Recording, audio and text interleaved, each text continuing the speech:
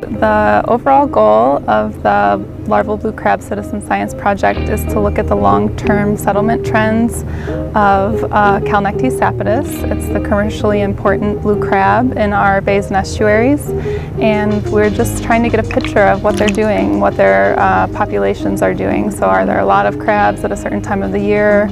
Um, are we not getting as many crabs in, washed into our bays as we have in the past? We just kind of want to monitor what's going on and get a better picture of that life stage of a blue crab in our bays and